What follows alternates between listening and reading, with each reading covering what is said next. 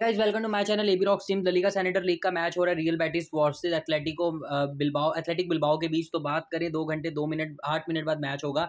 तो बात करें मेरा टेलीग्राम चैनल लिंक है नीचे डिस्क्रिप्शन में जाओ फटाफट, नीचे डिस्क्रिप्शन बॉक्स में लिंक पर करो क्लिक एंड ज्वाइन हो जाओ। और गाइस हम इस वीडियो के अंदर किसी भी तरह की चीज़ को प्रोत्साहित नहीं कर रहे वीडियो बहुत ही ज़्यादा सेफ़ और नॉलेजेबल है, मैं बढ़ता हूँ आगे।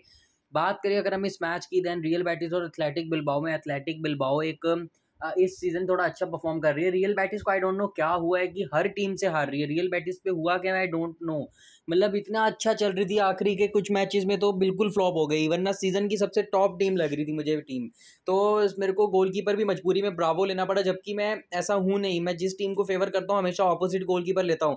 लेकिन आज मेरे को क्या है कि आज मुझे मजबूरन एथलेटिको बिलबाओ को फेवर करना पड़ रहा है, जबकि रियल बैटिस के सामने। तो अंदर से तो फीलिंग्स आ रही हैं उल्टी सीधी बट क्या करें? आगे से बात करें, आपको बता दूँ कि मोरेनो और हेक्टर बैलरिन सुनने में आए, दोनों इंजर्ड हैं भाई। पता नहीं क्या है, क्योंकि एक साथ ही मेन प्लेयर्स इंजर्ड हो गए। नहीं तो काफ़ी आपको पता ही हद तक कितना अच्छा खेलते हैं, जबकि हेक्टर बैलरिन की तो चलो बात अलग है, लेकिन मोरेनो तो एकदम नेक्स्ट लेवल है। ठीक है एंड वाई एलवरस की बात करें वाई एवलरस को ले रहा हूँ यहाँ पर मैं। पिछले मैच में एलिटी के खिलाफ विदाउट क्लीन शीट छः इंस्क्रिप्शन एंड तीन टैकल्स वॉन किए थे, जबकि ये सामने वाले के जो स्ट्राइकर्स होते हैं उन पर भारी पड़ जाता है, जबकि लो सेलेक्टेड प्लेयर है, लेकिन आज बहुत काम आने वाला है। एंड आई आई मार्टिनेस की बात करूँ, इन्हीं को मार्टिनेस को लूँगा। इनिको मार्टिनेस पिछले मैच में बहुत ज़बरदस्त खेल के गया क्लीन शीट के साथ। एंड आगे से बात करें ऑडे मार्कोस की देन आई वो स्ट्राइंग ऑस्कर डे मार्कोस पिछले मैच में ठीक खेला था। ऑलमोस्ट इट्स मतलब एक एवरेज प्ले एक, एकदम ठीक ठाक आगे से बात करें मिडफील्डर्स की नैबिल फैकिर को लूँगा। ये सबका कैप्टन है, लेकिन लोग फेवर कर रहे हैं ऑपोजिट टीम को। मतलब ये मुझे थोड़ा समझ नहीं आ रहा। देखो एथलेटिक के खिलाफ इसने 19 दिसंबर को भी गोल किया था, वो बात नहीं है। कैप्टन चाहूँ तो मैं भी रख सकता हूँ, लेकिन मैं कुछ बदलाव तो करूँगा।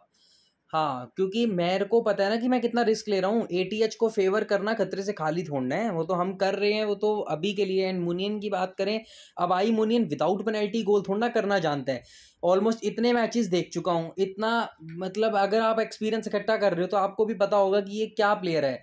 भैया सिर्फ़ और सिर्फ़ करता है ज़्यादातर एसिस्ट और बहुत मार के पेनल्टी गोल क्योंकि ये पेनल्टी टेकर है। एंड एलेक्स ब्रेंगुअर दोबारा से की वापसी, ज़बरदस्त वापसी पिछले मैच में, दो असिस्ट के साथ। बेचारे का गोल होने लगा था, हो गोल होता होता रह गया, नहीं तो पिछले मैच में तो कमाल कर देना था इसने। और डब्ल्यू कार्वालो को लेना पड़ रहा है, क्योंकि Canales was not played his last match तो अभी पता नहीं कि पिछला मैच भी नहीं खेला कि ये भी खेलता है कि नहीं। इसलिए आधा क्रेडिट भी वो ज़्यादा है तो मेरे को कार्वेलो लेना पड़ा।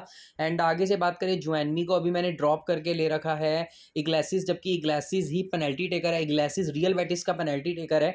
तो मैं चाहता हूँ कि ग्लासेस अगर एक आधा खोल कर गया, मैं जीत जाऊँगा, क्योंकि ग्लासेस पे बहुत बार बहुत भरोसा कर चुका हूँ। आप मानोगे नहीं, बहुत भरोसा। एंड आगे से बात करें आई विलियम्स की।